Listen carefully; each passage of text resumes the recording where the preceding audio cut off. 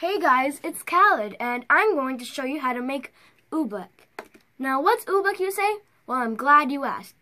It's not, it's, um, it's not a solid, nor a liquid. What is it then? Well, it's, um, well, it's magic. Actually, it's science, but I'm not going to show you guys that right now because we are going to make our own little magic. So, here are the materials.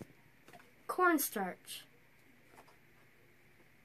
water, any kind of water, food dye, any color, and containers to mix it and put it in.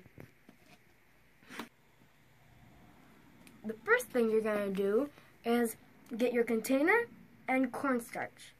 So, what I'm going to do is three scoops of cornstarch in a bowl. It doesn't have to be leveled. It could be as much as you want. I'm just going to do three.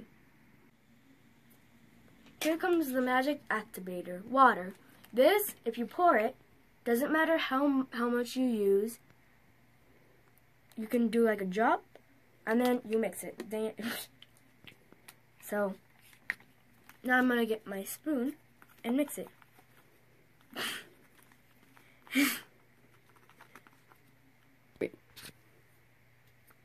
well, I didn't add enough water. So if you don't have enough water, you can add and then stir. Stir. Seems like I have enough water. Nope. Do I? I don't know. Just seems like it's hard. So when it looks hard or feels hard, that means you you might be you are doing it correctly. So I gotta add more water because that wasn't a lot. Now we're gonna stir it again. Now if it gets hard, then that means you're doing it correctly. If it's soft still, you have to add more water. And you can add as much cornstarch as you like or as much water as you want.